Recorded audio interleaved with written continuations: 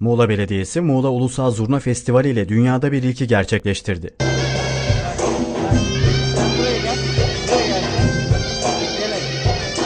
Festivale dünyanın ve Türkiye'nin önde gelen zurna üstadları katıldı. İlk gün sahne alan zurnacılar, zurna kültürüne gönül veren yüzlerce Muğlalı'yı mest etti. Festivale Muğla Vali Yardımcısı Fethi Özdemir, Belediye Başkan Vekili Yavuz Kayı ve 500 izleyici katıldı.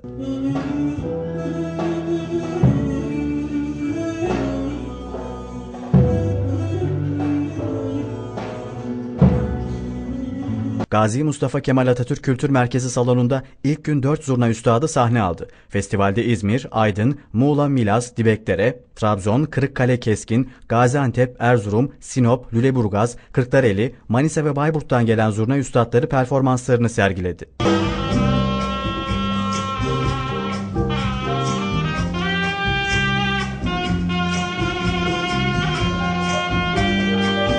Zurna Festivali'nin sanat danışmanlığını yapan yardımcı doçent doktor Ercan Kılkıl bir hayalin gerçekleştiğini belirterek şöyle konuştu. Bu çalışma 4 yıllık bir hayalimdir. Eğer biz geleneksel müziklerimize, geleneğe hizmet eden insanlara sahip çıkarsak, popüler kültürün esaretinden, etkisinden kurtularak daha sağlam adımlarla ilerleyebiliriz. Bu yıl birincisini yaptığımız bu etkinlik önümüzdeki yıl uluslararası bir boyutta olacak.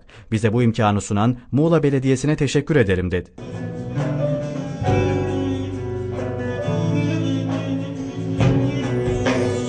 Zurna Festivali'nin ilk günü Ünal Yürük, Deniz Selman, Halil Çok Yürekli ve Ertan Tekin sahneye çıktı. Zurna üstadları önce tek tek performanslarını sergilerken son olarak sahneye çıkan festivalin aynı zamanda sanat danışmanlarından olan Ünal Yürük, Halil Çok Yürekli ve Ertan Tekin üçlü performans sergilediler.